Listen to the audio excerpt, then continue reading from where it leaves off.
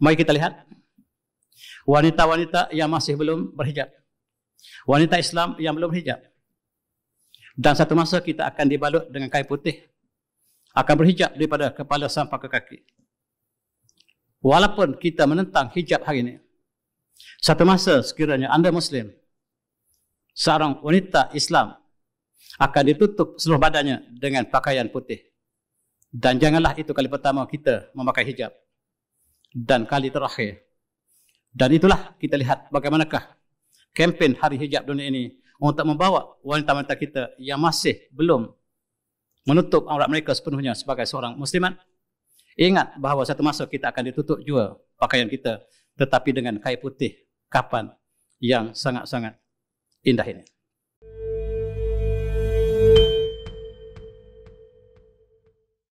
Hari ini 31 Januari di akhir bulan Januari dan 1 hari Februari disahkan sebagai hari hijab dunia. Bila kita kenal apakah relevannya kepada kita Islam lebih lagi kepada para muslimat. Kita mulakan dengan ayat surah An-Nur.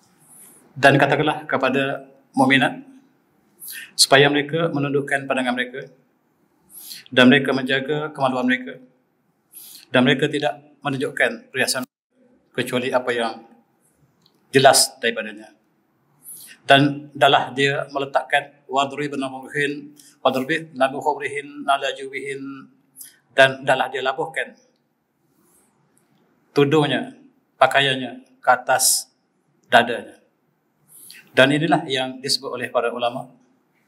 Ayat ini ditujukan kepada mukminat dan katakanlah wahai Muhammad katakanlah kepada mukminat supaya mereka mendudukkan pandangan mereka dan supaya mereka menjaga adab mereka menjaga kemahatan mereka daripada apa yang Allah haramkan dan janganlah ditunjukkan perhiasan mereka kepada lelaki bahkan hendaklah berusaha bersungguh-sungguh untuk menyembunyikannya kecuali pakaian-pakaian yang zahir yang biasa dipakai dan mengikut adat setempat.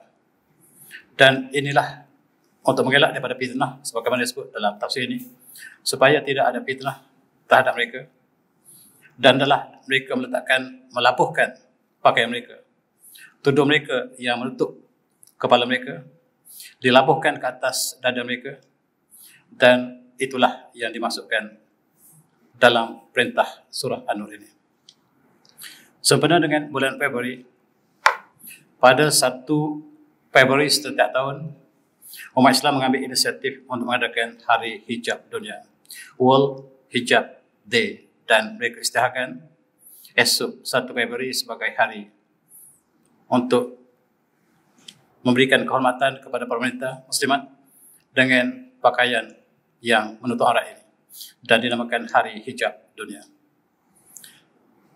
Hari Hijab Dunia telah di rayakan ataupun diamalkan oleh umat Islam beberapa lepas sebab mereka di barat mengatakan ini simbol sebagai operasi sebagai penindasan ke atas wanita. Tetapi apakah yang dijawab oleh wanita muslim? Oleh para muslimat mereka mengatakan my hijab is my dignity. Hijab ialah kemuliaan kami my respect and my honor. Kemuliaan kami. I will never ever treat it for this temporary world. Kami tidak akan menukarkan pakaian kami dengan kehendak dunia yang sementara ini. Tutup menutup aurat ialah kemuliaan kami. Bukan satu simbol operasi sebagaimana tidak boleh oleh barat.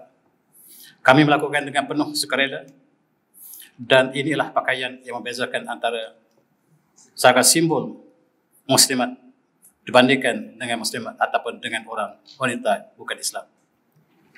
Hijab ialah dignity dan satu hari bulan Februari ialah hari hijab dunia. Esok kita akan lihat umat Islam akan mempromosikan pakaian hijab ini di seluruh dunia sama ada di Asia Tenggara ataupun di Amerika ataupun di Eropah bahkan di Argentina yang kita bincang dalam kuliah yang lalu barangkali. Dan mereka akan ke supermarket tempat-tempat perhimpunan orang ramai dan mereka menawarkan untuk diperkenalkan hijab. Sebagaimana yang dilakukan pada tahun lepas umpamanya di Terengganu, mereka adakan hari ini hari untuk perkenalkan hijab walaupun hijab adalah satu budaya yang telah terkenal tetapi diperkenalkan kembali. Kepada muslim dan bukan muslim. Mereka berada di tempat-tempat yang terbuka dan secara sukarela mereka ingin kena kenakan pakaian ini kepada mereka yang berhajat. Dan mereka ambil gambar dan menjadikan kenangan pakaian mereka gambar mereka bersama hijab sebagai satu kenangan yang abadi. Itulah satu usaha yang dilakukan oleh muslimat di tanah air dan di antarabangsa. Mereka menjadikan esok 1 April hari berhijab. Berhijab adalah wajib untuk muslimat, muslimat tetapi ada di antara kita yang agak lalai barangkali maka diperingatkan kembali 1 Februari ialah hari untuk kita kembali berhijab bagi mereka yang belum berhijab. Sama ada ini diperkenalkan kepada muslim dan bukan muslim. Cukup menarik tuan-tuan sekalian kita lihat bukan saja tanah air kita lihat wanita di seluruh dunia. Ini gambar wanita Rusia. Mereka baru saja memeluk Islam dan mereka berbangga dengan pakaian yang menandakan keindahan Islam ini. Mereka berpakaian di, di sekarang di Rusia, di Moskow. Kita lihat wanita Rusia telah mula berpakaian seperti ini. Sebahagian dari mereka ada yang bukan Muslim sebab mempamerkan dignity, honor dan kemuliaan wanita yang ditunjukkan dalam berpakaian cara hijab ini. Ada yang mereka pakaian sementara dan kemudian mereka muka kembali dan ini sudah cukup untuk memberikan gambaran kepada buku Islam. Demikian juga kita lihat Chechen ialah negara bidadari dunia. Dan dikatakan wanita paling cantik dunia adalah wanita Chechen. Dan mereka juga mengadakan kempen untuk berhijab dan di dalam pasport mereka satu keperluan ialah untuk bergambar dengan hijab. Itulah yang ditentukan oleh kerajaan Chechen.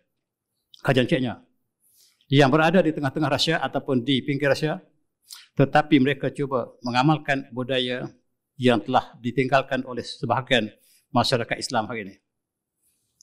Kita lihat juga ini pemandu taksi di Chechen.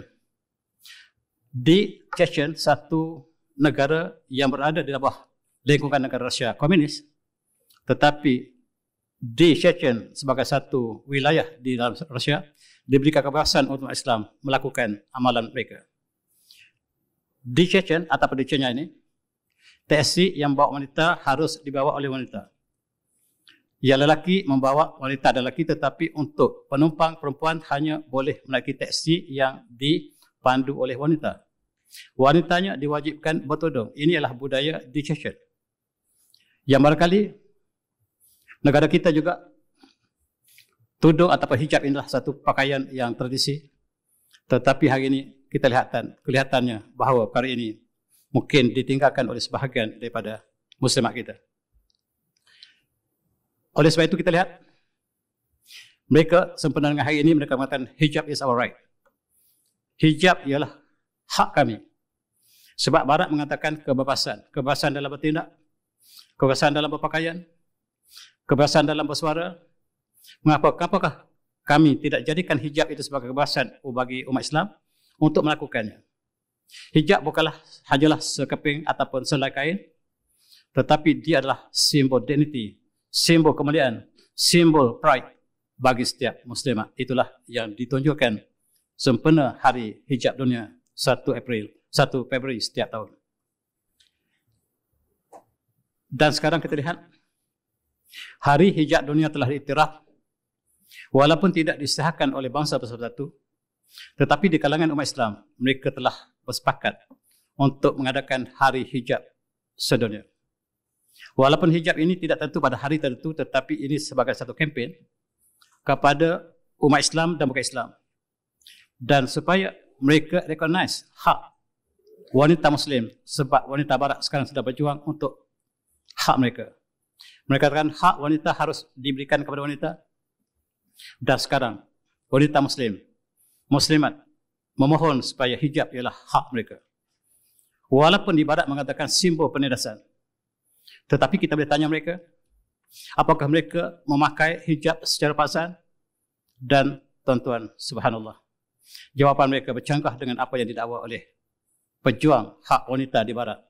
Sedangkan mereka melakukan hijab ialah sebagai satu pengiktirafan kepada hak wanita muslim dan itulah yang sudah ditunjukkan dalam peristiwa Hari Hijab Dunia. Cukup menarik di Amerika, tuan-tuan. Ada billboard yang besar untuk menyatakan bahawa Hari Hijab Dunia dan hijab, respect, honor, strength. Hijab ialah kemuliaan kami dan kekuatan kami. Kemuliaan kami. Ada billboard yang besar di lebuh raya di Amerika. Dan kalau kita bandingkan dengan lebuh raya kita, barangkali kita tidak pernah lihat billboard yang sebesar ini. Dan ini menunjukkan bahawa kekuatan umat Islam yang sedang dipamerkan di negara bukan Islam. Di negara kita, billboard kita mempaparkan, memaparkan wanita yang tidak berhijab. Sedangkan di Amerika ada billboard yang sedang rancak disiarkan wanita berhijab dan itu simbol kepada dignity, honor, strength bagi wanita Islam dan itulah sebagai perkara yang sedang berlaku di dunia hari ini. Kita lihat di Amerika, di Eropah, satu Februari mereka berada di tempat-tempat keramaian, di supermarket, di tempat-tempat dataran, dan mereka membawa satu satu set lengkap untuk dicuba kepada Islam dan bukan Islam. Mereka kemudiannya dipakaikan dengan hijab, ada yang sederhana dan ada yang sangat cantik. Kemudian mereka adakan sesi fotografi, fotograf. Dan mereka abadikan wajah mereka dalam bentuk hijab. Walaupun mereka bukan Islam. Dan semakin lama semakin tertarik. Lebih lagi apabila dikatakan di Turki, pelancong-pelancong yang cuba mencuba pakaian hijab ini merasakan sesuatu yang belum mereka rasakan.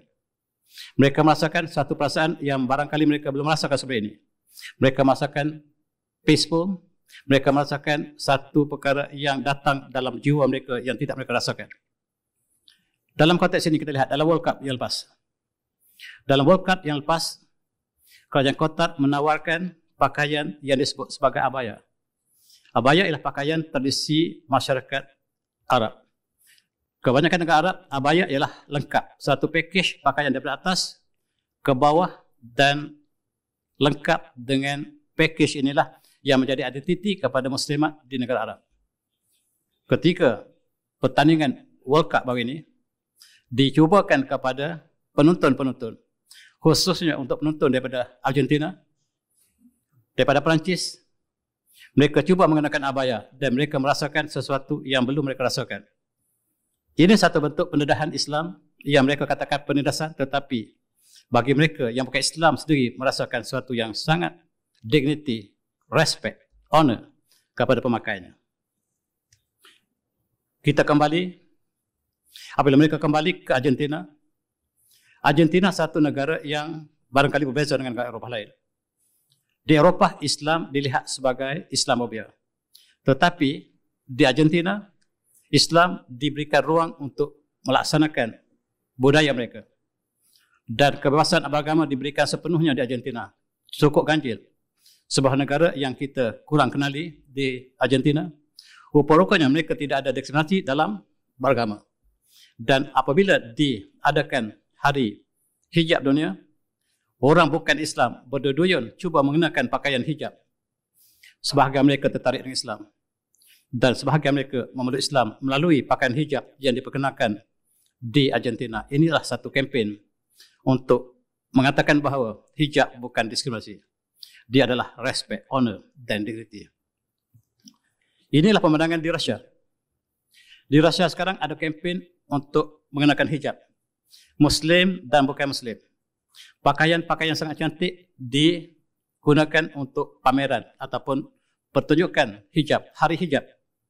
Dan mereka adakan pakaian-pakaian cantik di Moskow, di di kawasan-kawasan bandar-bandar utama mereka.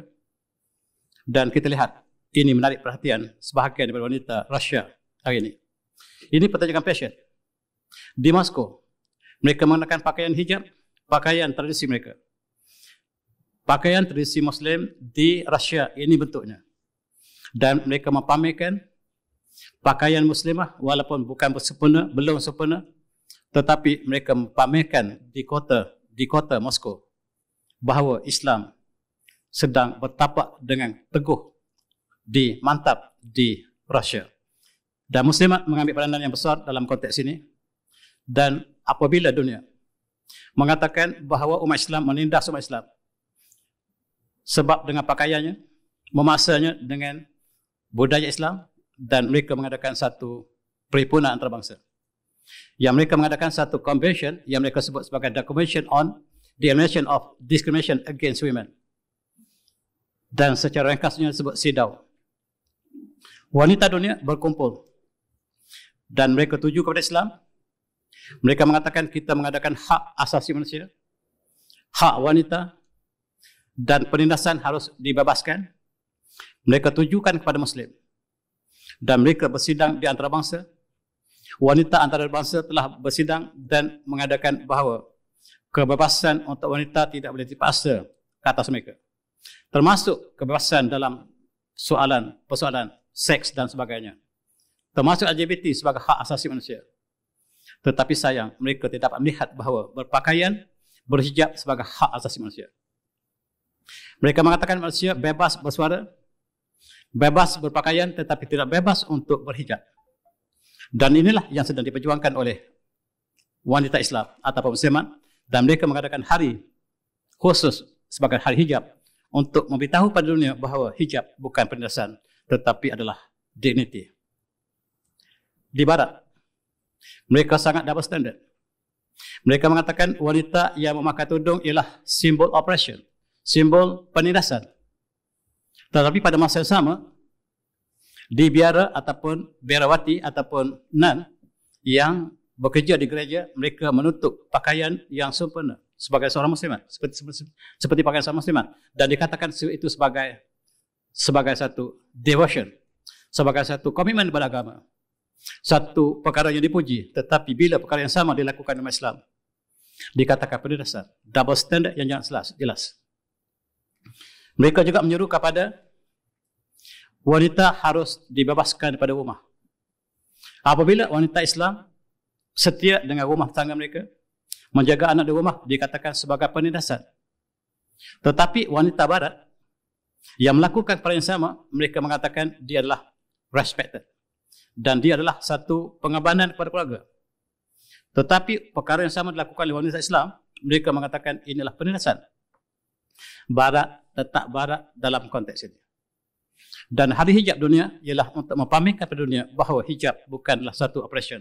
Bukan satu perkara yang penindasan tetapilah satu kebebasan, satu kemuliaan pada umat Islam. Kemudian kita lihat di mesti kalau di Eropah tuan-tuan, tuan-tuan pernah belajar di Eropah, pakaian wanita mereka dalam kampus ketika lebih-lebih lagi ketika bulan menjelang musim sama, pakaian mereka seperti bikini dalam kelas. Hanyalah lebih sedikit penutupan mereka dalam kelas kampus mereka. Inilah kebebasan. Mereka mendapat ialah kebebasan berpakaian. Hak asasi manusia di barat. Tetapi pada masa yang sama, apabila pelajar kita di Eropah, bahkan negara kita, yang berpakaian sebagai seorang muslimat yang sepatutnya dikatakan sebagai penindasan. Sebagai perkara yang tidak dibenarkan di universiti kebanyakannya. Universiti di India tidak membenarkan pakaian hijab. Bahkan saya mendengar berita semalam, Universiti di Saudi, di Saudi Arabia juga tidak membenarkan pakaian abaya dalam Dewan Perpisahan. Sedangkan mereka berjuang untuk kebebasan. Kebebasan bersuara, kebebasan berpakaian. Sekarang apabila umat Islam ingin berpakaian, mengikut kebahanan mereka, mereka dikatakan sebagai dinafikan hak mereka. Dan tuan-tuan, berpakaian seperti di kanan, sebagai kebebasan. Tetapi pakaian yang dipilih oleh sebahagian muslimat, dikatakan penindasan, dilarang dan diharamkan di Eropah yang sebelah kanan membawa ke neraka dan pakaian muslimat adalah membawa kita ke syurga. Dan inilah yang berlaku dalam dunia hari ini. Mereka dapat standar terhadap kebebasan. Kebebasan yang mereka tarifkan, kebebasan yang tidak berdasarkan kepada sistem sejagat. Sebab apabila mereka mengatakan kebebasan, maksudnya kebebasan untuk melakukan keburukan. Tuan-tuan yang semati. Dalam satu hadis, Rasulullah menggambarkan apa yang berlaku ini. Rasulullah menggambarkan dalam hadis bahawa daripada Abdullah bin Umar dia mendengar Rasulullah mengatakan pada akhir zaman akan muncul satu kenderaan yang belum ada ketika itu.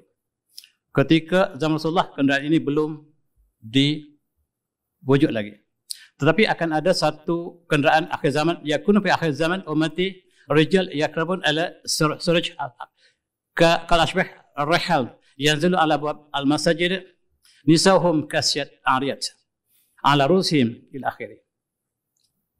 Satu masa Rasulullah dalam hadis ini umat Islam akan mempunyai kenderaan yang sangat lembut pelananya. Dan kenderaan ini akan dibawa sampai ke pintu masjid. Hari ini kita bayangkan apa yang Rasulullah sebut ini adalah kenderaan kita. Yang pelananya sangat lembut. Yang disebut dalam hadis ini sebagai surh kalashah ar-rihal. Seperti pelana yang sangat lembut. Sedangkan pelana yang ada ketika zaman Rasulullah, kuda ataupun unta bukanlah satu yang selesa. Tetapi kenderaan yang bakal diciptakan Rasulullah akhir zaman. Sangat lembut kedudukannya dan dibawa terus ke depan masjid. Dan pada masa yang sama, kata Rasulullah, wanita mereka akan berpakaian khasiat ariat. Mereka berpakaian ketat, mereka berpakaian tetapi mereka telanjang. Ketika teknologi ini berlaku, kata Rasulullah, akan datang.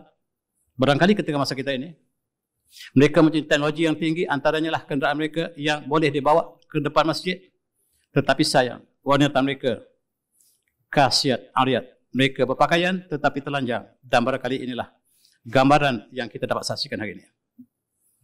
Tuan-tuan yang semati, di Eropah mereka ada satu satu kegiatan untuk melarang atau menahan daripada hari hijab dunia. Mereka mengatakan hak ini adalah hak penindasan. Sedangkan tadi mereka mengatakan kebebasan. Sekarang mereka sedang mencari jalan supaya hari hijab dunia tidak dilaksanakan. Mereka mengatakan simbol kebebasan ialah bebas wanita. Wanita bebas berpakaian dan apabila kita bebas untuk berpakaian dalam konteks hijab, mereka mengatakan inilah bercanggah dengan kebebasan hak asal manusia. Mereka dapat standar dalam ukuran kebebasan. Mari kita lihat wanita-wanita yang masih belum berhijab. Wanita Islam yang belum berhijab. Dan satu masa kita akan dibalut dengan kain putih. Akan berhijab daripada kepala sampai ke kaki. Walaupun kita menentang hijab hari ini.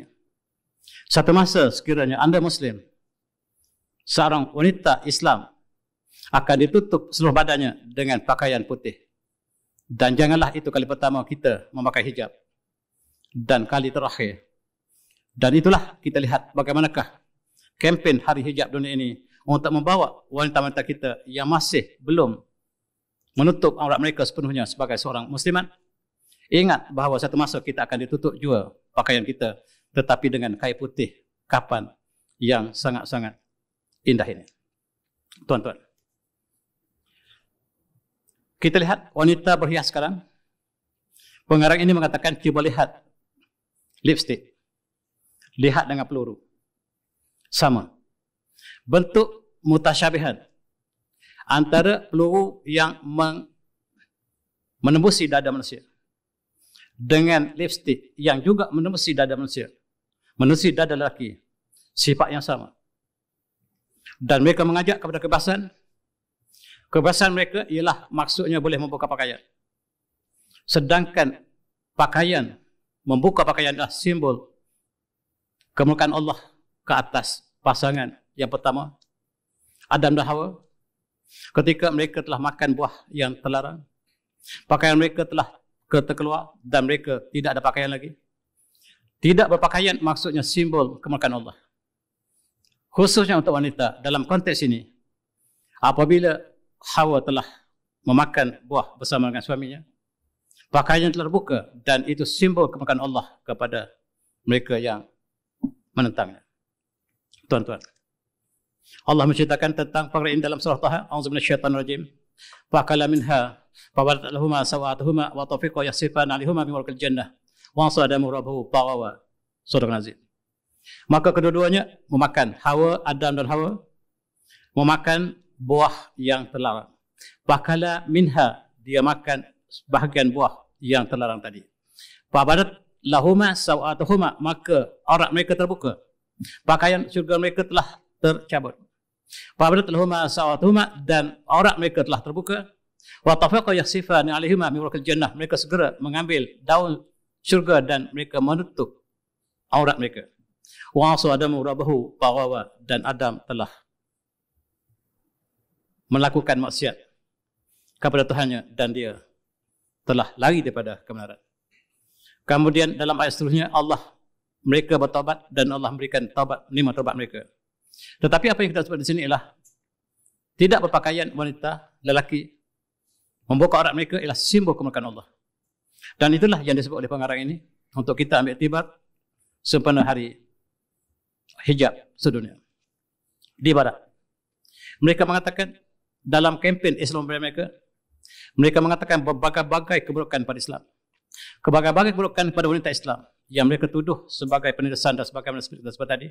Diskriminasi dan sebagainya. Kebencian dan sebagainya. Inilah yang dicanangkan di barat.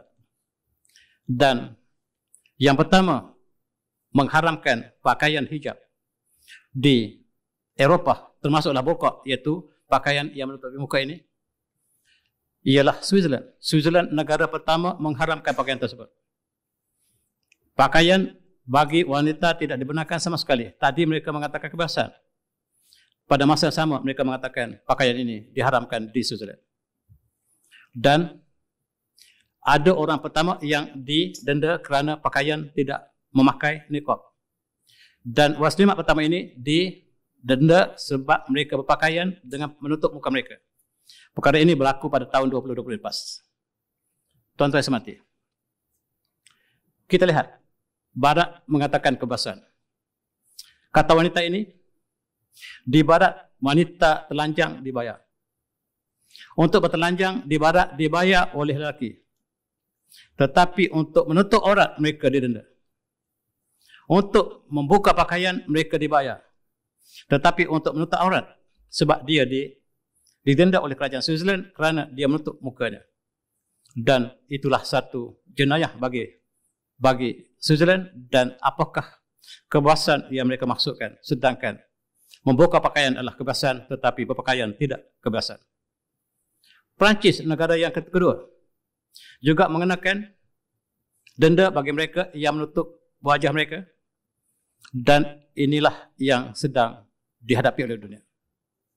Begitu juga kita lihat yang sangat benci ke Islam ialah Boris Johnson ini.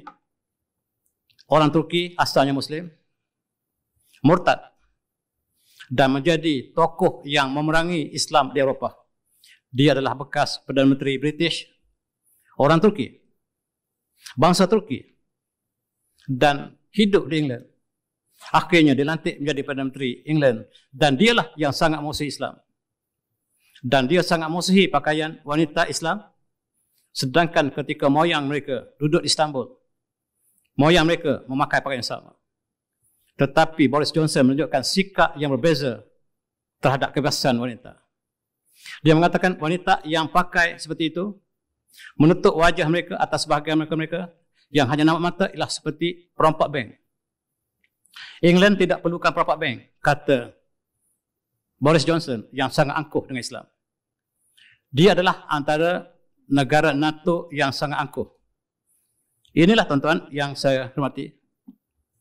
Apabila COVID melanda England, kata Boris Johnson, semua kena pakai tutup muka. Kena pakai mask. Dan pada hari pertama, 4,000 rakyat England yang ditangkap kan tidak pakai mask. Tadi dia larang pakai mask. Dia mengatakan simbol ke kemunduran. Simbol penindasan. Sekarang dia wajibkan pakai takdir ilahi. Covid datang dan dia paksa pakai emas di Eropah. Dan hari pertama, 4,000 penonton ataupun penumpang kereta api di London di saman kerana tidak pakai emas. Tadi dia mengharamkan emas. Sekarang dia mewajibkan emas. Dan dasarnya kelang kabut sebab dia tidak beriman kepada Allah SWT. Cukup sayang orang ini. Keturunannya mereka kurang baik-baik. Orang yang baik-baik di Turki, tetapi sayang, cucunya telah murtad. Tuan-tuan sama Doktor Eropah mengatakan untuk sebahagian pada untuk menghindar COVID ialah dengan memakai mask ataupun pelindung pelitup muka. Dan itulah yang telah dilakukan oleh sebahagian daripada umat Islam. Umat Islam menutup muka. Terselamat daripada debu, bakteria dan sebagainya. Dan sekarang mereka baru sedar bahawa menutup wajah itu sebahagian daripada perkara yang dituntut untuk kesihatan. Sedangkan Islam adalah agama yang sempurna. Satu perbuatan itulah perkara yang ada hikmah sama ada kita sedar atau tidak dan termasuklah dalam konteks hijab yang sedang kita bincang. Apakah yang disebut oleh Islam tentang penjagaan penyakit yang berjangkit? Dan kita lihat di Eropah, di Amerika. Mereka sedar bahawa ketika COVID melanda, bagaimanakah Islam menunjukkan contoh? Rasulullah mengatakan dalam kita berwuduk, lima kali sehari kita membasuh tangan kita, membasuh muka kita. Dan apabila kita mendengar kawasan itu ada kawasan yang di telah terkena wabak satu penyakit yang berjangkit, jangan kita masuk. Dan sekiranya kita berada di situ, hendaklah kita kekal di situ dan jangan keluar. Dan kita bertawakal kepada Allah. Dan inilah yang dilakukan oleh Dr. Madad. Sedangkan pakaian yang diletakkan Islam ada hikmah. Sama ada orang Eropah sedar atau tidak, ataupun orang Islam sedar atau tidak. Dan sekarang mereka sedar tentang hadis Rasulullah yang mulia. Dan mereka menyedari tetapi kekal mereka apabila petunjuk tidak menjelma pada mereka, mereka tetap menentang kebenaran. Kita lihat di sini. Ini billboard Muhammad sallallahu alaihi wasallam believe in peace. Mereka mengatakan Islam adalah agama ganas. Sedangkan maksud Islam itulah asil adalah kesejahteraan. Social justice, bagaimanakah Islam menganjur masyarakat, menyusun masyarakat yang kaya yang miskin. Dalam harta orang kaya ada hak orang miskin. Bagaimana tanggungjawab strata manusia, strata masyarakat? Dan bagaimanakah Islam memberikan hak hak wanita? Rasulullah berpesan kepada lelaki tentang wanita. Dan mereka mengatakan Islam menindas wanita. Sedangkan dalam Islamlah hak diberikan sepenuhnya kepada wanita. Dan Rasulullah menyebut Ar-Rifqi bin Nisa' dengan wanita hendaklah kamu harus lakukan kasih sayang, lemah lembut dan sebagainya. Mereka baru sedar bagaimana ke Islam mengajar tentang kebebasan ini, kemuliaan ini tentang wanita. Tapi sayang tuan-tuan. Selepas Switzerland, selepas Perancis, Sri Lanka pula mengharamkannya. Sri, Lanka mengharamkan pakaian hijab dan juga niqab. Diisytiharkan sedangkan mereka menganjurkan kebebasan tetapi tidak bebas untuk wanita Islam berpakaian mereka. Di Sweden, negara yang membakar Al-Quran, hijab tidak dibenarkan sama sekali. Tetapi semakin ramai hari ini, ini adalah gambar tahun lepas, wanita mereka menentang dasar kerja mereka. Mereka berhijab dan mereka menurut Islam. Mereka mendapatkan perasaan yang mereka rasa tenang dengan pakaian tersebut. Pada mulanya mereka kenakan pada hari hijab tahun lepas. Mereka mengenakan dan mereka merasakan ketetaman. Akhirnya, apabila penunjuk telah sampai, sebabnya sangat ringkas hanyalah dengan mengenakan hijab dan mereka meluk Islam beramai-ramai. Ini suasana di Sweden dan kita lihat India mengharamkan hijab. Kerajaan India secara resmi mengharamkan hijab bagi pelajar sekolah, pelajar universiti, pelajar kolej, Sedangkan mereka berjuang untuk kebebasan wanita. Hak asasi wanita, hak asasi manusia. Tetapi mereka menentang ataupun mereka mengharamkan pakaian utama umat Islam, iaitu hijab antaranya. Dan tuan-tuan, penduduk Islam di India sedang berdepan dengan dasar ini. Dasar yang mengharamkan hijab. Khususnya pelajar yang untuk masuk Dewan Perpisahan, mereka tidak makan berhijab. Satu perkara yang dikatakan sebagai kezoliman terhadap umat Islam di India. Dan mereka menyuruh kepada kebebasan, sedangkan kebebasan yang diberikan perkara yang asas untuk Islam berpakai hijab tidak dibenarkan di India. Tiba-tiba tuan-tuan, Arab Saudi pula melarang. Ini the last straw. The last straw can break the camel's bone. Tadi negara pakai Islam, senarai kita senarai pada atas ke bawah. Negara pakai Islam melarang pakaian hijab. Tiba-tiba sekarang Saudi melarang abaya. Dalam Dewan Perasaan, pelajar yang pergi college tidak benarkan pakaian abaya sedangkan pakaian abaya adalah pakaian resmi sejak zaman Rasulullah sampai sekarang. Mereka mengharamkan abaya. Apakah abaya tuan-tuan? Tadi kita lihat ketika pertandingan World Cup di kota mereka mengenakan abaya bagi muslim dan bukan muslim. Bukan muslim mengenakan pakaian abaya yang lengkap, package pada atas ke bawah. Sebagai simbol salah satu cara berpakaian bagi muslim Islam. Tetapi tidak di Saudi sekarang. Tuan-tuan, Saudi tidak membenarkan lagi pakaian abaya. Dan khusus untuk pelajar yang masuk universiti, masuk college, tidak dibenarkan. Apa yang dibenarkan saya tidak pasti, tetapi berita ini kita terima sehari dua lepas. Dan India sangat bersyukur. India sangat berterima kasih kepada Saudi. Sebab dulu Malaysia, penduduk Malaysia menentang India. Sebab tidak membenarkan pakaian hijab. Sekarang Saudi sendiri yang tidak membenarkan. Apa kata India? India kata, kamu tengok, Saudi sendiri tidak benarkan memberikan ruang kepada bukan Islam untuk mengatakan kepada muslimat yang ingin berpakaian sebagaimana yang dikehendaki Allah Subhanahu Tuan-tuan semati, tiba-tiba wanita ini ialah seorang peguam tinggi ataupun pegawai tinggi hakim di mahkamah, mahkamah tinggi India memeluk Islam. Ketika Islam India mengharamkan pakaian hijab, hakim tinggi, mahkamah tinggi India, memeluk Islam. Dan memakai pakaian yang dilarang oleh kerajaan Islam, kerajaan India. Dan dia memeluk Islam. Dan inilah simbol bagaimanakah perjuangan antara benar dan palsu telah berlalu dan terus berlalu, terus berlaku. Dan mereka mengatakan, kalau anda datang ke India, harus patuhi undang-undang India.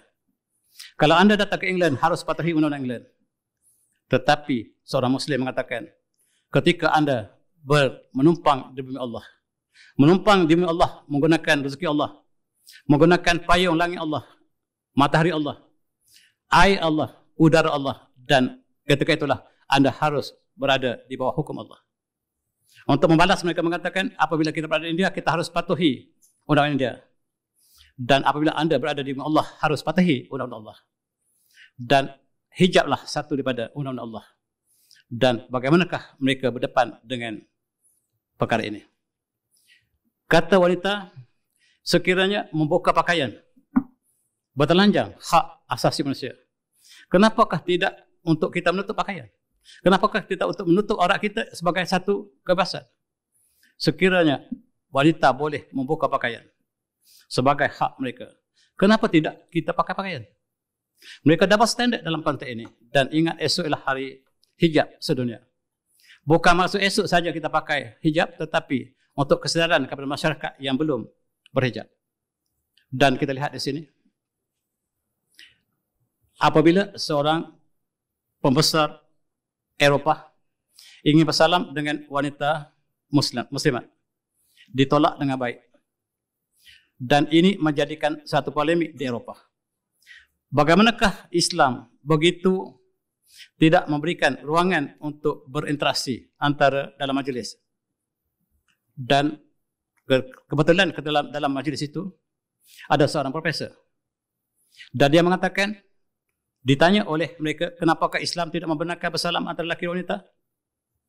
Sebab jawab profesor, apakah Queen anda, permaisuri anda, Pansuri anda bersama ketika itu dia belum belum meninggal dunia. Apakah anda boleh bersalaman dengan Queen anda? Tidak. Hanya tujuh golongan yang boleh bersalaman dengan Queen. Dan kata profesor itu, wanita kami ialah seperti Queen anda. Kedudukan wanita kami seperti Queen anda. Kami ada dignity, ada honor. Tidak semua boleh bersalam dengan wanita Islam. Sebagaimana anda tidak boleh bersalam dengan Queen anda sendiri, maka demikianlah wanita Islam dipelihara kedudukan mereka. Yang dapat bersalam dengan wanita Islam hanyalah 12 orang. Ayahnya, pakciknya dan yang diteruskan dalam senarai mereka yang muhram dalam Islam. Itulah jawapan profesor kita. Tuan-tuan, ketika mereka mengatakan hijab adalah sebagai simbol penindasan wanita, ketika itulah wanita Eropah berlomba-lomba memeluk Islam. Mereka berlomba-lomba Islam dan perkara yang awal mereka lakukan selepas mengucap syahadah ialah mereka berhijab. Islam is the truth. Dan kebanyakan wanita apabila mereka mengalir syahadah, mereka mengalir air mata. Maksudnya mereka dapat merasakan sesuatu yang tidak mereka pernah rasakan. Mereka merasakan kebenaran telah menjelma dalam jiwa mereka. Hari pertama mereka mengucap syahadah, mereka terus memakai hijab dan mereka menyatakan perasaan mereka masing-masing. Barangkali saya telah adakan satu kuliah khusus bagaimanakah mereka yang baru menurut Islam merasakan perasaan mereka masing-masing dan mempamerkan perasaan mereka kepada masyarakat. Apakah yang mereka rasakan kali pertama mereka mengucap syahadah dan selepas mengucap syahadah mereka segera berhijab. 20% penduduk Amerika ialah converts. Kebanyakan di Amerika yang memeluk Islam ialah mereka yang convert. Islam di Amerika ialah kebanyakan 20%, 1 per 5 daripada penduduk Amerika Islam ialah daripada convert. Daripada bukan Islam kepada Islam. Dan mereka menjadikan identiti mereka. Sebaik saja mereka buka syahadah ialah berhijab.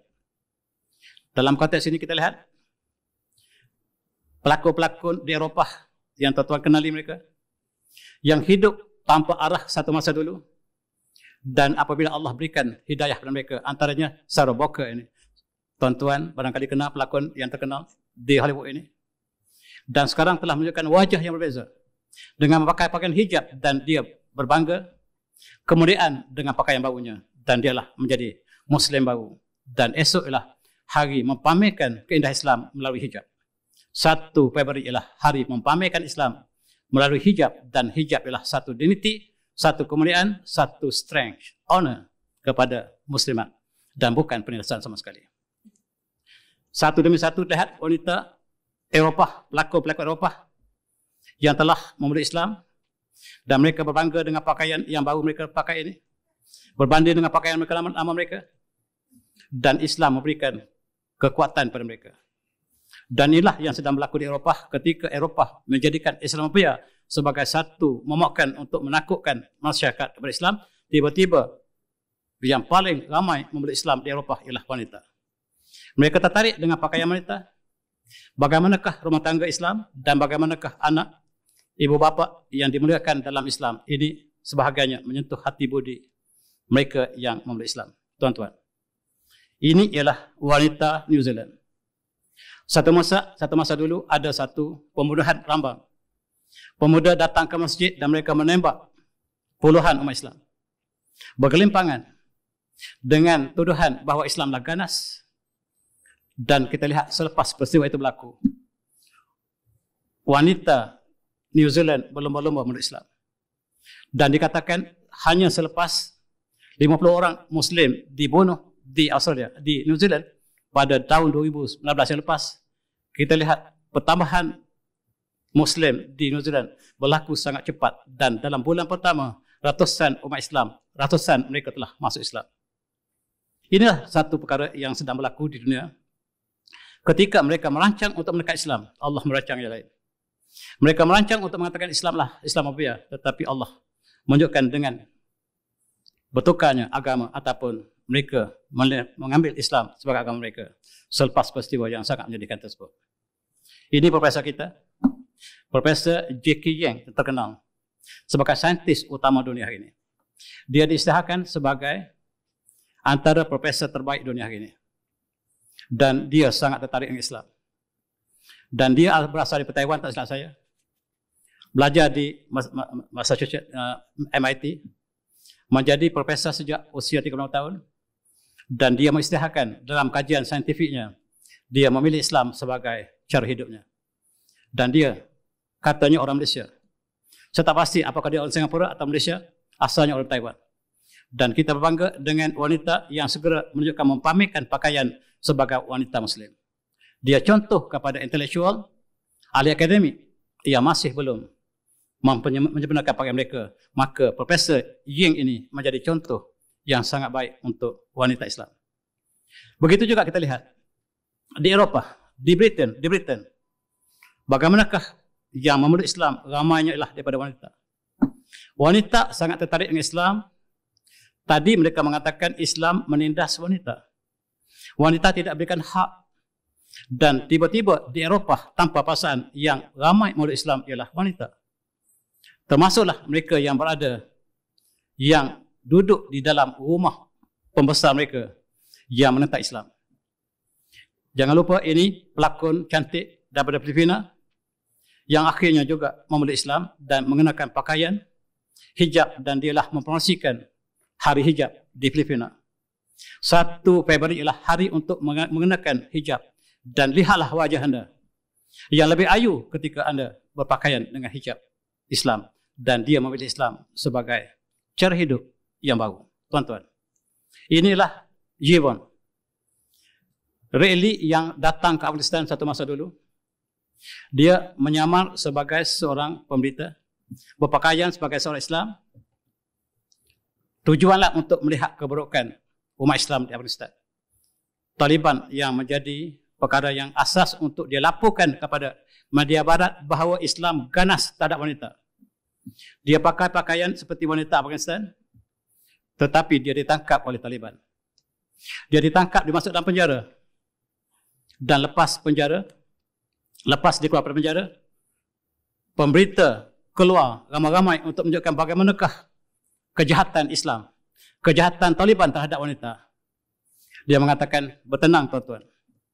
Sekarang saya ditawan oleh Taliban dan saya mengucapkan syahadah. Saya mendapat syahadah melalui kejahatan Taliban. Bukan kejahatan. Orang yang paling baik yang saya pernah temui dalam dunia ialah Taliban. Kata Jibon. Dan mereka adalah golongan miskin. Saya ditahan dalam penjara. Mereka menyediakan makanan. Mereka berikan makanan makanan lebih awal pada saya. Itulah kejahatan mereka. Mereka belum makan tetapi mereka berikan makanan pada saya lebih awal. Minuman yang mereka ada mereka berikan pada saya. Bila saya kenyang makanan saya yang mereka makan. Bekas makanan saya. Yang kamu kata mereka lah ganas dan saya belajar sesuatu daripada Taliban yang kamu katakan dia ganas. Dan saya mendapat Islam daripada Taliban. Inilah satu contoh. Bagaimanakah Taliban Afghanistan dimomokkan sebagai orang yang sangat ganas. Tetapi wanita ini menyaksikan sebaliknya.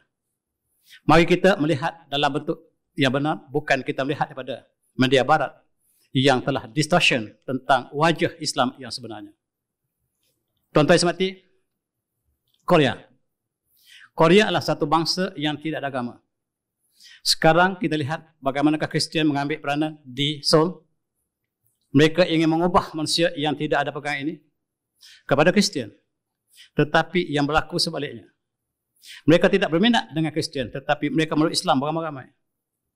Tuan-tuan, kita lihat di Seoul sekarang kota yang lewat menerima Islam tetapi Islam sangat mantap. Tuan-tuan yang pernah pergi ke Taiwan, di situ ada masjid yang besar, ada dua tingkat yang asalnya tidak ramai penduduk di situ tetapi sekarang telah melimpah keluar ke masjid menunjukkan pertubuhan orang Islam di Korea sangat cepat berlaku. Mereka adalah golongan intelektual. Dalam tahun 2017 mereka menjemput saya Persatuan Islam Korea Selatan menjemput saya untuk berikan lecture di universiti di Masjid 81 mereka. Mereka mengumpulkan orang Korea untuk saya berikan lecture. Tetapi takdir ilahi. Pada hari yang sama, isteri saya meninggal dunia di Korea. Pada hari saya sepatutnya memberikan kuliah kepada orang Islam dekat Islam Korea, ditakdirkan isteri saya telah meninggal dunia. Dan majlis seminar yang sepatutnya diadakan bertukar menjadi majlis pengkemudian isteri saya. Dan dia adalah orang Malaysia pertama yang dibenarkan untuk dimakamkan di Korea. Dan Korea dengan saya ada sejarah hubungan ini. Dan saya lihat di situ pertumbuhan perubahan di Korea sangat ketara. Gadis-gadis mereka sekarang sangat tertarik dengan Islam apabila mereka melihat Islam dapat memberikan penjaminan keselamatan kepada mereka. Mereka meluk Islam ramai-ramai hanya dengan pakaian hijab. Dipamerkan, inilah pelakon mereka yang terkenal yang mengistilahkan pakaian mereka melalui hijab. Dan dia ada Facebook yang ramai pengikutnya. Setiap hari kita lihat wanita ataupun gadis-gadis Korea memeluk Islam. Dan ini satu suasana yang baru yang dapat mengubah satu masyarakat yang kita tidak dapat ubah tetapi Allah memberikan hidayah melalui hijab. Tuan dah mati. Ini ialah wanita Jepun juga tidak ketinggalan. Jepun juga Islam telah berkembang dengan cepatnya. Masjid yang pertama di Kobe, tuan-tuan. Jadi bina pada tahun 1935. Yang ketika itu hanyalah satu masyarakat yang kecil saja. Tetapi sekarang telah ada puluhan masjid di Jepun. Dan di antara yang ramai murid Islam ialah wanita mereka. Dan sebaik saja mereka murid Islam, mereka berpamerkan wajah mereka dengan pakaian hijab. Dan ini menjadi identiti kepada Islam di Jepun. Di Korea juga. Dan tuan-tuan, kita lihat di Latvia, negara komunis, Rusia juga telah bertukar dan juara akak berat mereka telah meluk Islam. Dan inilah di antara berkat adanya hari hijab dunia yang berkenalkan Islam secara tidak formal. Memperhatikan bahawa wanita Islam diberikan tempat yang istimewa dalam Islam dan bercanggah dengan apa yang dicanangkan di Eropah. Dan ini juga wanita yang berislam yang pada asalnya mereka pergi untuk tujuan missionary. Dan mereka pergi ke negara-negara yang miskin seperti Afrika. Mereka ingin mengkristiankan orang Afrika, tetapi orang Afrika yang mengislamkan mereka. Dan inilah yang dilakukan oleh dunia, tetapi Allah merancangkan sebaliknya. Dalam konteks ini kita lihat, seorang demi seorang yang memeluk Islam, kadang-kadang dengan hijab, kadang-kadang dengan azan. Wanita ini, tak silap saya, dia melawat Turki. Dan subhanallah Turki tuan azan mereka sangat sistematik. Ada dua masjid berdekatan. Yang ini Allahu Akbar, Allahu Akbar. Di sini Allahu Akbar, Allahu Akbar. Dan mereka tidak bersilang azan mereka. Dan ini menyentuh hati budi wanita ini. Yang hanya merasakan jiwanya tertarik dengan azan. Dan Allah memberikan hidayah melalui azan yang cukup indah tadi.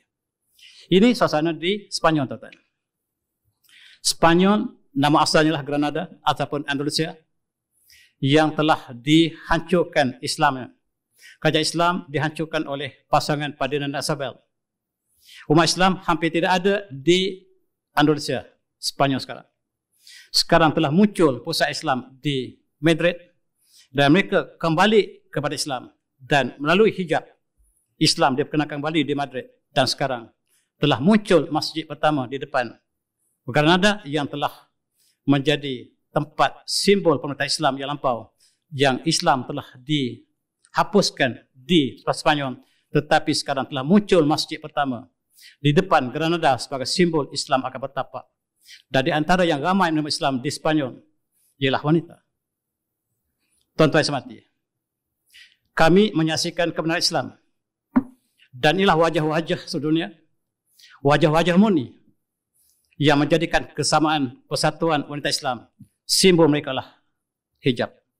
Hijab menjadikan introduction kepada wanita Islam dunia. Sayang kalau wanita kita di Malaysia tidak menjadikan identiti ini sebagai identiti kita antarabangsa. Hijab ialah identiti kita antarabangsa dan kita sebelum kita kenal mereka Muslim atau tidak, hijab memberikan satu introduction, pengenalan yang pertama. Tapi sayang, kadang-kadang wanita kita tidak merasakan keindahan Islam ini.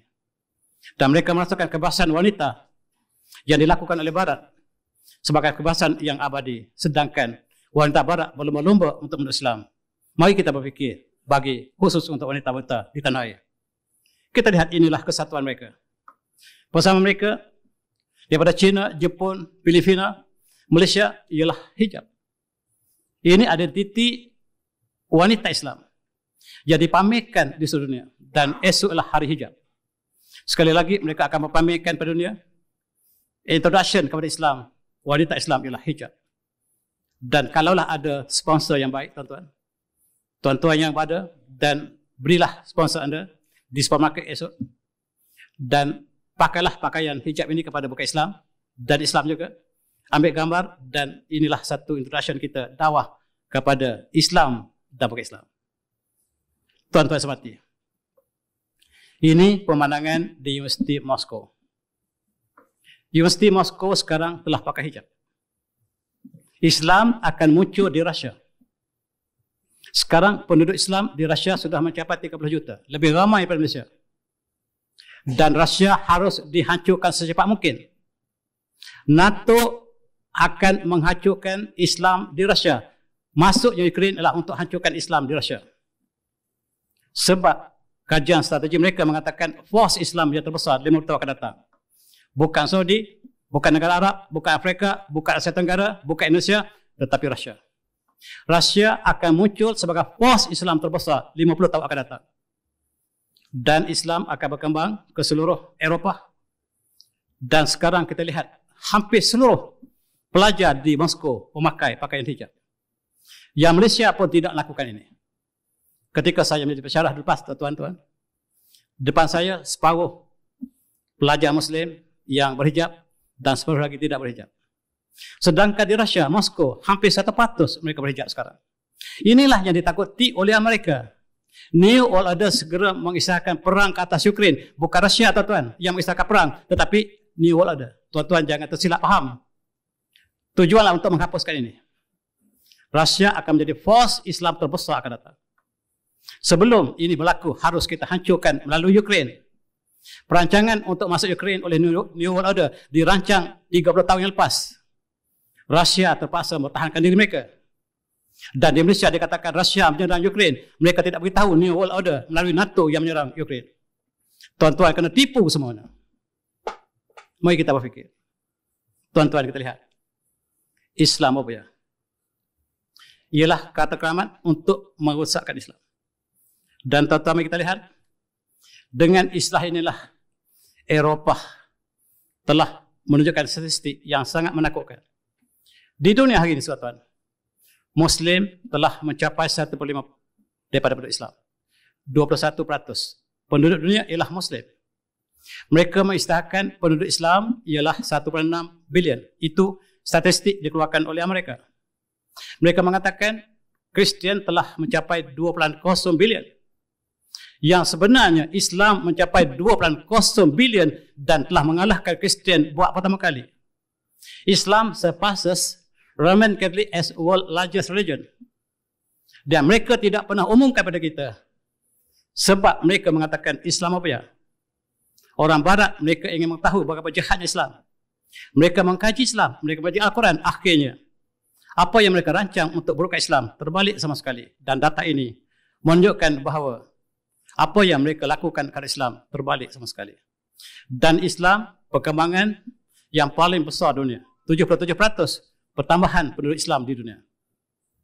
Mereka mengatakan pada mulanya ialah immigration, daripada emigrasi, daripada penghijrahan orang Islam ke Islam. Apabila mereka kaji 20% Islam di Amerika ialah daripada orang kulit putih yang meluk Islam.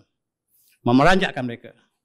Dan sekiranya perkara ini berterusan, maka harus disekat dengan segera. Dan itulah yang dirancang peperangan di Iran peperangan di Ukraine, peperangan yang sedang dirancang seluruh dunia, ialah bersabit dengan perkara ini. Tuan-tuan yang semati. Kita lihat bagaimanakah wanita Islam, wanita bukan Islam, melihat Islam, bagaimanakah Islam memberikan hak yang cukup indah. Ayat Al-Quran mengatakan, wa'asyuruhun nabi ma'ruf. Dan bermalahlah kamu dengan isteri kamu dengan cara baik. Dalam konteks ini, Rasulullah bersabda, Ad-dunia mata. Dunia ialah kesenangan. Wahai mata dunia al-matu salihah. Perhiasan terbaik dunia ialah wanita solehah. Tuan-tuan dapat isteri yang solehah, itulah perhiasan terbaik dunia. Tuan-tuan yang mendapat isteri yang sebaliknya, maka neraka dunia bermula. Isteri yang solehah ialah syurga dunia. Isteri yang sebaliknya ialah neraka dunia. Rasulullah telah berpesan bahawa dunia mata wa hormatan dunia al-matu solehah. Dan itulah yang berlaku. Dan tuan-tuan kita lihat bagaimanakah Allah mengatakan rahmah wa, wa, wa mawadah di antara kasih sayang suami dan isteri. Khairun nisa. Khairun nisa, khairun nisa hayyinah, layyinah, taqiyah, naqiyah. Wanita terbaik ialah wanita yang hayyinah, yang senang bicara. Lajinah, lemah lembut. Naqiyah, bersih, taqiyah bertakwa yang menjaga suaminya sepanjang hayat dan tidak pernah membantah kepada suaminya dan itulah khurun nisa. Dan Rasulullah berpesan rifkan bil qawarir. Wahai suami, hati-hati dengan wanita sebab wanita seperti kaca ini. Bila pecah tidak dapat dicantum kembali rifkan bin nisa. Rifkan bil qawarid. Rasulullah sebut wanita seperti kaca ini. Kalau dia jatuh, dicantum kembali, tidak menjadi asal lagi. Ha, jaga-jaga hati isteri. Bila belok sekali, dia akan hangat. Ingat sah sepanjang hayat. Sebab kaca yang telah pecah tidak boleh dicantum lagi. Walaupun diikat tetapi tidak sebagai asalnya. Dan Rasulullah berpesan, Rifkan bil kawarid dan rumah tangga yang indah. Keluarga yang bahagia. Ialah bagaimanakah hubungan suami isteri. Dan diasuh di bawah bimbingan wahyu. Yang bertahta dalam sebuah rumah tangga. Yang menjadi simbol unik yang pertama dalam masyarakat. Rumah tangga yang bahagia inilah yang bentuk masyarakat yang bahagia. Masyarakat bahagia inilah membentuk negara yang bahagia. Dan unit awal ialah unit yang dibina dalam rumah tangga yang pertama ini. Dan dalam setiap rumah tangga ada gelombang seperti ini. Jarang rumah tangga yang setenang seperti di sebelah kiri. Pelayanan harus diteruskan walaupun ombak sedang menggelombang. Jangan sekali-kali lari daripada bahtera kita. Ketika bergelombang, jangan lari daripada bahtera. Kekal dalam bahtera kita. Pandulah Mudah-mudahan pantai bahagia akan muncul depan. Itulah pasapah suami isteri dalam Islam. Tuan-tuan. Kata pepatah. Iza arata azzawash. Fala tabasa an-nisa. Kalau kamu nak kahwin, pemuda-pemuda saya. Jangan cari wanita.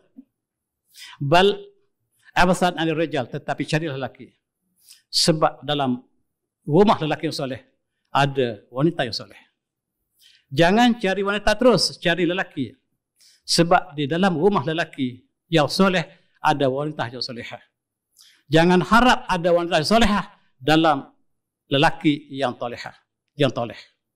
Tuan-tuan, itulah patah yang diberikan oleh mereka yang terdahulu pada kita. Dan lima perkara yang menjadi kebahagiaan tuan-tuan. Lima perkara dalam keluarga yang sumber kebahagiaan. Pertama ialah anak al-ibnu al-bab anak yang sejahtera, anak yang baik. Yang kedua adalah zaujah as-salihah. Isteri yang salihah. Yang ketiga as-siddiq. As-siddiq al-wafi. Teman yang yang setia. Yang persahabatan tidak perlu balasan.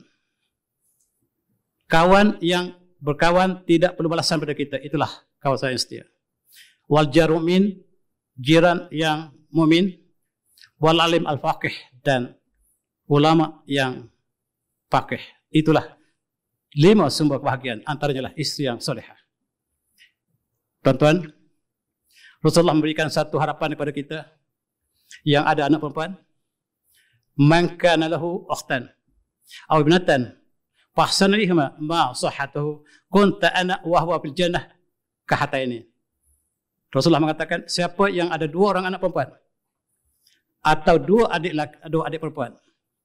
Dia memeliharanya dengan baik dan memberikan pendidikan yang sempurna. Maka dia dengan saya seperti dua jari ini dalam syurga. Tuan-tuan yang ada dua anak anak perempuan. Dalam hadis lain mengatakan tiga anak perempuan. Itu adalah kunci syurga.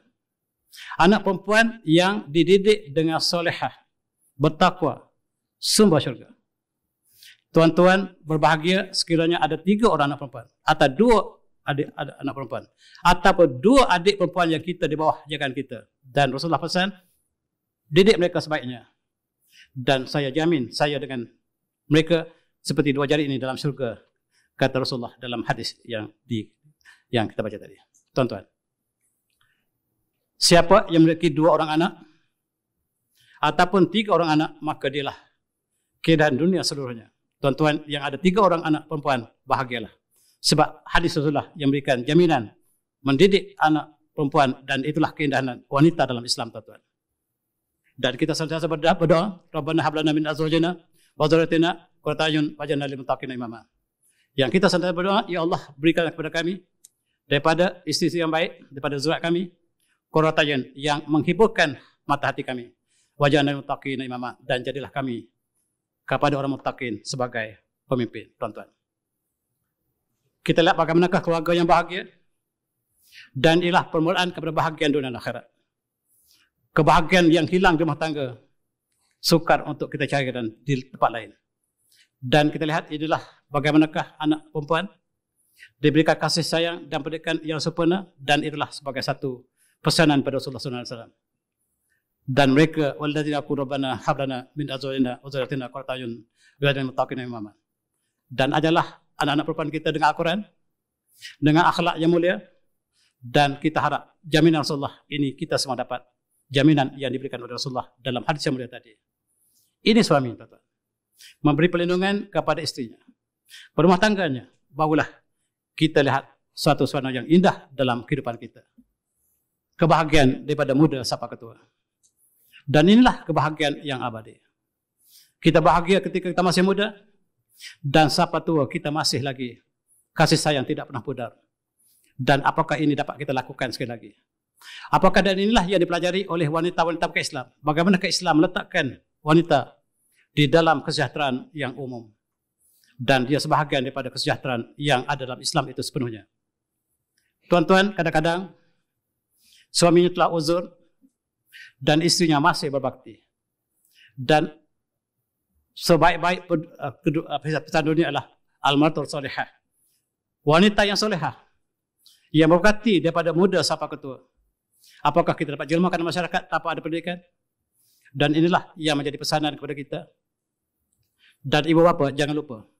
Satu masa kita yang muda nanti akan jadi tua. Dan Allah berpesan. A'udzubillah syaitan rajim. Wa qadar buka illa ta'budu illa iyah. Wa wiladin ihsana. Wa imma yabrawanna anda kal kibar haduma. Au kilahuma. Fala takul lahma uf. Wa la tanharma. Wa kul lahuma kulan karima. Surah Nazim. Dan Allah telah menetapkan supaya kamu tidak menyembah selain daripadanya kamu tidak menyembah selain pada Allah. Dan kepada dua ibu bapa kamu adalah lakukan kebaikan. Dan sekiranya mereka telah sampai ke tahap yang tua. Apabila mereka telah sampai kepada usia tua. Seorang atau dua-duanya. Jangan kamu sekali-kali menghadir mereka dengan perkataan of sekalipun. Jangan kamu hadir mereka. Dan katalah mereka dengan kata-kata yang indah kepada kedua ibu bapa mereka. Tuan-tuan, jangan biarkan ibu kita menangis Jangan biarkan ayah kita menangis. Jangan biarkan ayah kita masih mencari rezeki sedangkan anaknya pegawai yang telah bertaudah. Anaknya pegawai tetapi ibu bapanya jangan biar menangis. Dan bagaimana Islam menjaga kebahagiaan. Kebahagiaan inilah yang dipelajari oleh mereka. Mereka mempelajari bagaimana Islam menjamin dunia dan akhirat. Dan itulah yang menyebabkan wanita di Eropah sangat tertarik dengan Islam. Jangan biarkan ayah berduka. Jangan biarkan ibu keserangan. Bulan puasa telah dekat. Bawa mereka ke rumah kita. Berpokok masalah dengan ibu bapa kita. Dan inilah Islam memberikan kekuatan kepada setiap ibu mereka. Dan tuan-tuan, tuan-tuan yang masih ada ibu, tuan-tuan yang masih ada ayah, berbaktilah pada mereka. Satu masa, satu masa mereka akan pergi. Kita akan melindungi. Kita akan melindungi ibu kita. Kita akan melindungi ayah kita. Saya tidak ada kedua-dua lagi. Kita merasakan apakah Sekiranya kita buat lebih baik daripada apa yang telah lakukan. Dan penyesalan akan bermula. Tuan-tuan yang masih ada ibadah, berbaktilah dan itulah keindahan Islam dalam konteks hubungan rumah tangga. Dan kehidupan yang bahagia, banyak memberi. Banyak menerima. Banyak bersedekah, bukan banyak menerima. Dan inilah kebaikan dalam Islam. Dalam Islam, women Islam, dibicarakan dengan panjang lebar dan inilah menjadi hasrat ataupun menjadi inspirasi kepada wanita Eropah yang sedang mempelajari yang mereka dikatakan bahawa Islam menindas wanita. Sekali lagi kita lihat daripada hujung dunia sampai ke hujung Afrika. Mereka bersatu, adati mereka. Adati Islam mereka, mereka kenalkan pendahuluan mereka dengan hijab. Hijab mempertahukan mereka dalam satu acuan yang sama. Dalam paradigma yang sama, Islam yang hanif itulah yang barangkali kita bincang hari ini. Dan kita tutup dengan ayat ini. A'udzu billahi minasyaitonir rajim. Huwallazi arsala rasulahu bil huda wal haqq liyuzhiru 'ala ad-din kullih. Walau wa kafa billahi syahida. Dan dia Allah yang menunjukkan rasulnya dengan petunjuk dan agamanya benar. Yang agama ini akan mengatasi segala agama lain. Seluruhnya wa kafa billahi syahida. Cukuplah Allah sebagai saksi. Dan kita lihat hari ini tuan-tuan. Islam telah berkembang tidak ada bumi lagi yang tidak didatangi Islam. Islam telah sampai ke dunia. Dan hanyalah manusia yang menerima atau tidak. Tetapi Islam telah sampai dunia. Dan Islam akan mengatasi seluruh dunia agama. Sebagaimana yang Allah janjikan di sini. Liyuzarhu Dan Islam itu akan mengatasi segala ulama seluruh dunia. Dan tuan-tuan cuba lihat statistik ini, proyeksi ini. Mereka mengatakan Islam akan mengatasi agama terbesar dunia Kristian pada tahun 2070. Sebenarnya, Vatican mengisytiharkan Islam surpasses Christian as world largest religion pada tahun 2014 yang lepas. 2014 tanda pertama Islam mengatasi penduduk dunia lain. Dan benarlah firman Allah bahawa Allah yang mengutuskan rasulnya dengan benar dengan petunjuk dan agamanya benar yang bakal mengatasi seluruh agama seluruhnya cukuplah Allah sebagai saksi dan hari ini kita lihat Islam telah menjadi agama terbesar dunia dan sama ada kita sedar atau tidak ini jumlah penduduk Islam dunia ini statistik tahun 2014 lepas penduduk Islam 2.038 bilion mengatasi penduduk Kristian. Ini statistik yang tidak resmi. Yang Amerika tutup statistik ini. Dan tuan-tuan saksikan, Islam bertambah dengan cepatnya sejak pada tahun 2014 dan statistik ini statistik yang tertinggal dan statistik yang tahu ini belum kita saksikan. Tetapi percayalah, sebagaimana janji Allah, Islam akan menjadi agama terbesar dunia. Dan sebahagian besar ialah wanita dan sesuai dengan esok sebagai satu hari hijab dunia. Marilah kita sama-sama meraihkan hari ini. Mudah-mudahan kita mendapat saham yang sama. Dan akhir sekali Ahmad Dedak mengatakan agama ini akan benar. Bersama anda ataupun tidak bersama anda. Anda bersama Islam atau tidak bersama Islam Islam akan benar. Dan itulah janji Allah dan saya sudahi dengan wabillahi taufik assalamualaikum warahmatullahi wabarakatuh. Tasbih sallallahu